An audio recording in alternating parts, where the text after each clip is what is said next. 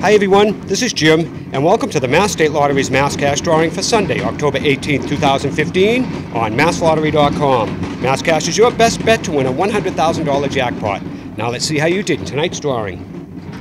Our first number up is number 33. Following that, we have number 13. And here comes number 28. Up next is number 9.